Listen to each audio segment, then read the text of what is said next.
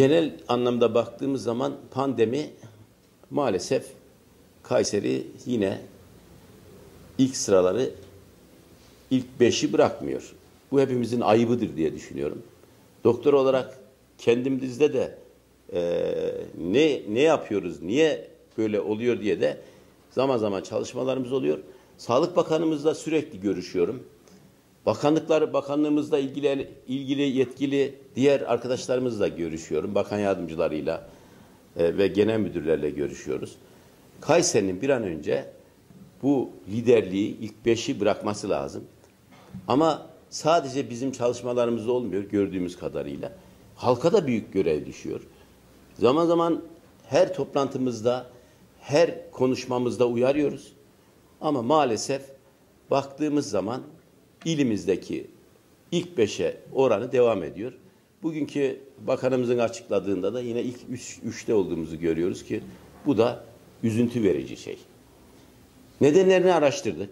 Sizinle paylaşıyorum. Nedenlerini araştırdık. Bunda e, düğünlerin, zaman zaman taziyelerin ve gurbetçi kardeşlerimizin yaz döneminde burada olmalarının büyük etkisinin olduğunu gördük. Onlar gurbetçi kardeşlerimiz hemen hemen tamamı döndüler. E, okullarımız açıldı, yüz yüze eğitimimiz başladı. E, orada da sıkıntılarımız var. Maalesef okullarımızda da var. Öğretmenler arasındaki aşılama oranını takip ediyoruz. Çocuklarımızın e, maske ve mesafe kurallarına uyup uymadıklarını takip ediyoruz. Oralarda da alabileceğimiz tedbirler varsa almaya çalışıyoruz. Hastanedeki doluluk oranımız maalesef yüksek.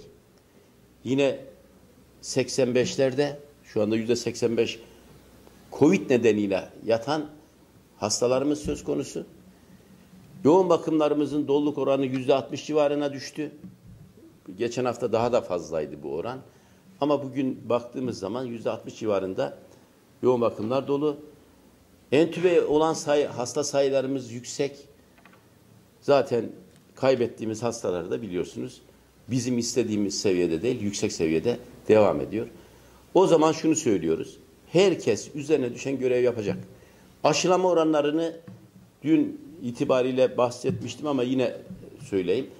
Kayseri'de yapılan aşı miktarı yani 1, 2, 3. dozlar yapılan aşı sayısı 1 milyon 745 bin küsuratı da var. Hedef nüfusumuz, aşılama nüfusumuz 1 milyon 145 bin olması lazım. Ama bu oranın daha e, birincide yüzde 87'deyiz. Birinci doz aşıda yüzde 87'sini bu hedef nüfusunu aşılamışız.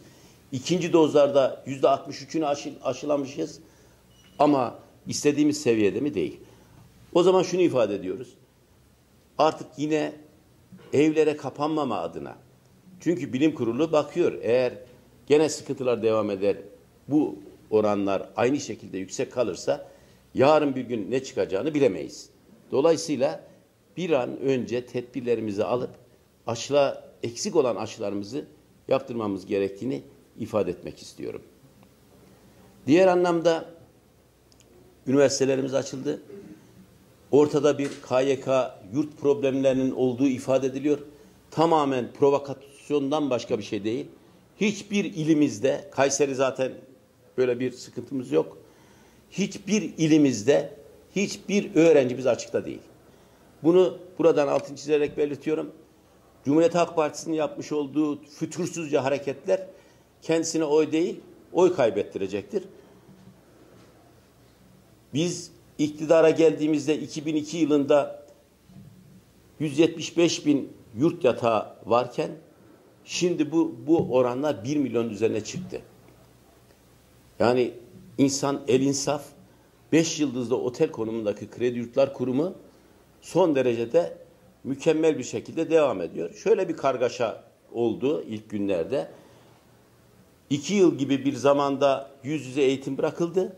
Şimdi başladığında herkes yurtlara hücum etti. Sanki bir orada yurtta problemler varmış gibi bir zahiri, yalancı bir yurt problemi ortaya çıkmaya çıkmak gibi bir durum söz konusu oldu. Bunu alıp da bir kaşık suda fırtınalar koparmanın anlamı da yok, gereği de yok. Zaten herkes yaptığıyla kalıyor. Cumhuriyet Halk Partisi de bir ay sonra hiç kimsenin dışarıda kalmadığını görecek. Bunun yanında da Cumhurbaşkanımızın direktifiyle yine Genel Başkan Yardımcımız, Yerel Yönetimler Başkanımızın yapmış olduğu açıklamayı, Mehmet Öztesek'in açıklamasını hepiniz biliyorsunuz. Hiçbir yerde tüm belediyelerimiz, AK Parti belediyeleri yurtla ilgili hummalı bir çalışma yapıyor. Hiç kimsenin kesinlikle dışarıda kalması diye bir durumun söz konusu olmadığını da belirtmek istiyorum. Kayseri yatırımlarıyla da ilgili kısa bilgiler vereyim. Biliyorsunuz en önemli yatırımlarımızdan bir tanesi yüksek hızlı trenimiz. Yüksek hızlı trenin mali yönündeki problemler çözüldü. Şu günlerde imzalar atılmayı bekliyoruz.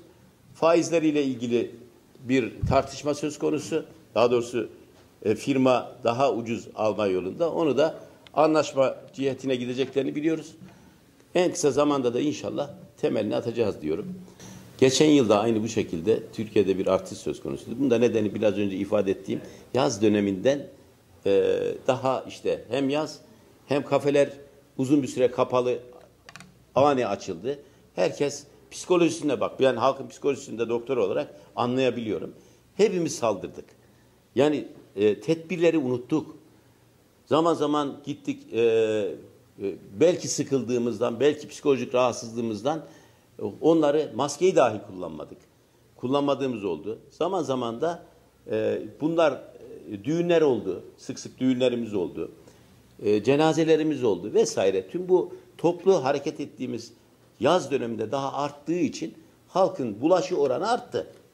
Şu anda da o onu gösteriyor zaten. Bunun anlamı da o. Şimdi okullar da açıldı üstelik. Bir de okullar açıldı.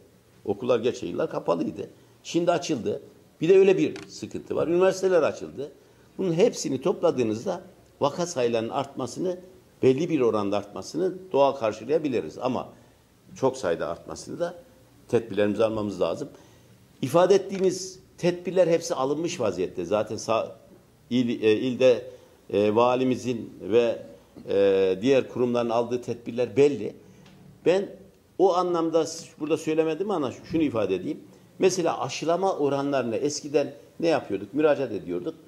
Ee, TC kimlik numaramızı veriyorduk ve bizim randevu almamız sağlıyorduk. Randevuyu da anında veriyordu veya veremiyordu. Randevu aldığımızda gidip aşı oluyordu. Şimdi bunu bu sistemi kaldırdık.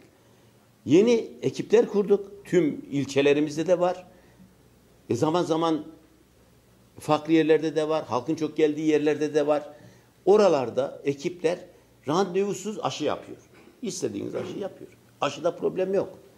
Ama zihniyette problem var. Zaman zaman karşı olanlar var. İşte bir e, parti başkanı kalkıyor işte yok e, kuyruklu şeyle olacak falan gibi. İşte ben de ona kuyruklu bir yalan diyorum yani başka bir şey dediğimde yok o, o konuyla ilgili. Olacak bir şey değil.